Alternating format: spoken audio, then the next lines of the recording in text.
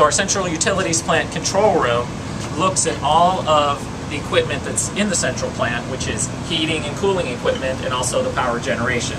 We also can see all of the campus buildings uh, from one central station here. So it really becomes the hub of all information for all the energy being provided and used on campus.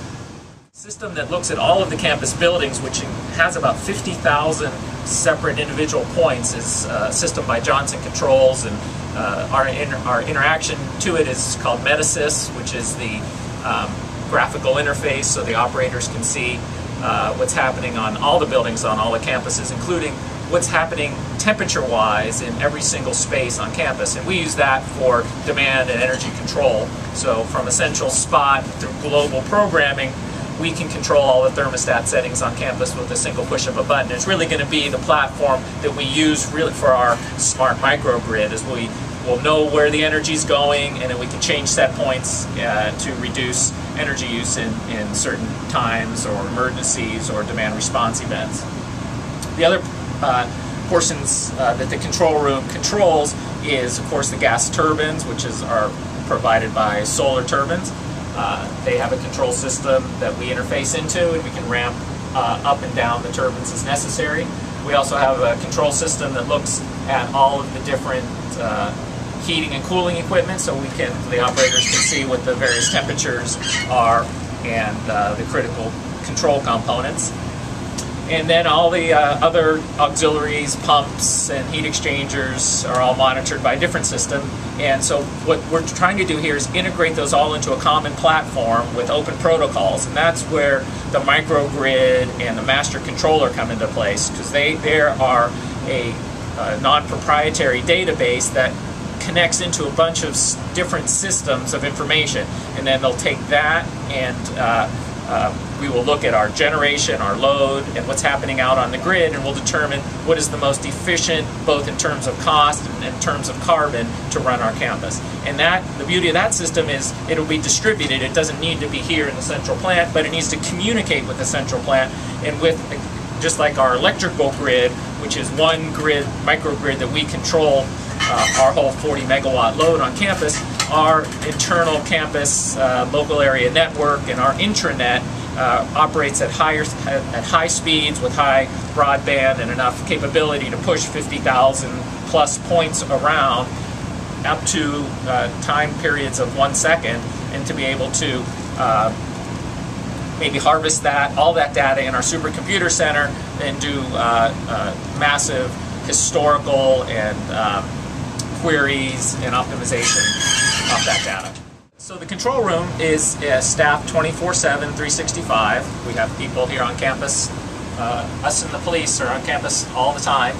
Uh, we have requirements because of the high pressure steam that's, that's a byproduct of the cogeneration process. So we always have to have at least two people here uh, in the plant, one in the control room, one normally doing surveillance uh, of, the, of the campus systems. And uh, we've been doing that since since this central plant was installed in the in the 60s, late 60s, early 70s, and we continue the same sort of manning even when we added the cogeneration system. So we we actually uh, own and operate our own uh, generation side of, of, of the of the CHP facility. And then as we move into the microgrid and the automated controls, we don't see any need to increase the manning. This will, it'll just be in support and optimization of what we already have.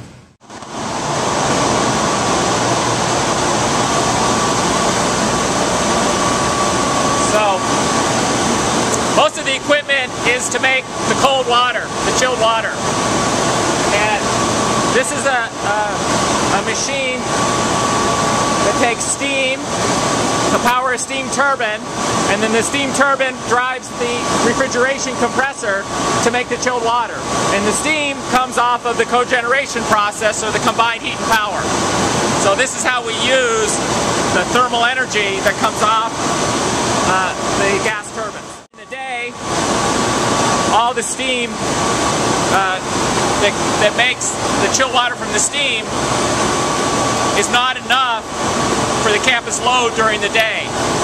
So what we do is we use the thermal storage tank during the day, and at night, when we need to recharge it and our campus le load level is low, then we turn on our electric machines and charge the tank at night.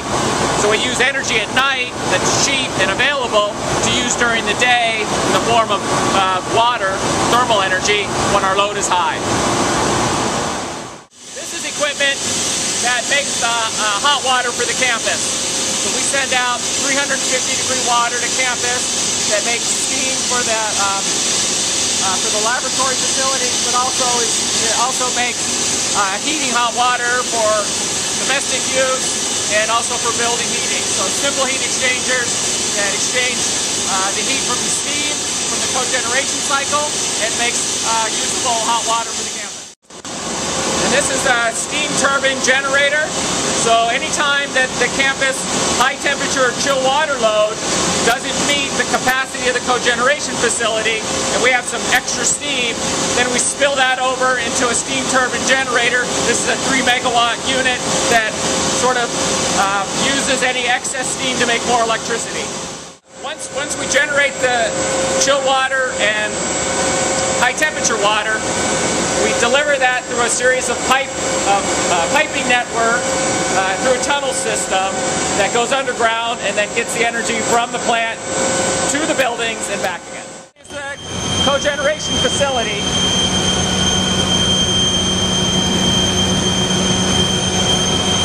And what we have is uh, two gas turbines that are in these um, beige housings. They take air in, combust it in a gas turbine, and the products of combustion are hot enough to make steam. So down at the end is a, a boiler that makes steam out of the waste gas. After that, there's a pollution control system, and that's really what separates us from most other plants is a different sort of pollution control system that can get the levels of pollution or NOx down uh, to levels that are, aren't really achieved by other facilities. One of the points here is because our levels of because our levels of NOx or pollution are so low, we can actually have shorter stacks because we don't need to get the products of pollution so high. So that, that's our stack right there. Our, our, the metric that we use is that before cogeneration, when we were only burning natural gas in boilers, we were actually giving off more tons of NOx a year than we do now when we put the, since we put the uh, combined heat power plant into operation and we also burn about two and a half times more natural gas than we used to and our levels of pollution are lower. So the uh, Central Utilities plant, the first building on campus, uh, houses all the equipment to heat and cool water that then goes out and heat and cools, heats and cools the buildings. So inside we have machines that uh, cool water and machines that heat water up. And then um, as they exchange their, as they pick up the heat from the campus and the chill water side, then they transfer the heat to the refrigerant and then the refrigerant transfers its heat uh, back to the atmosphere through the cooling towers in a very efficient evaporative process. So uh, the heat, all the heat in the buildings um, through all of our 6 million square feet is gathered into the chill water system and then rejected through the cooling towers. So inside the building, the building transfers its heat through the air into our chilled water system. Our chilled water system then transfers it into the refrigerant in the machines in the plant. And the refrigerant then transfers its heat to the cooling towers. And as the water falls down, it transfers the heat to the atmosphere by an evaporative process and discharges it into the atmosphere. Chilled water load here on campus in the San Diego area peaks during the day, of course, when the sun's out.